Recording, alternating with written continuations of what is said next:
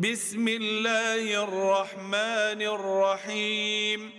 إنا أعطيناك الكوثر فصل لربك وانحر.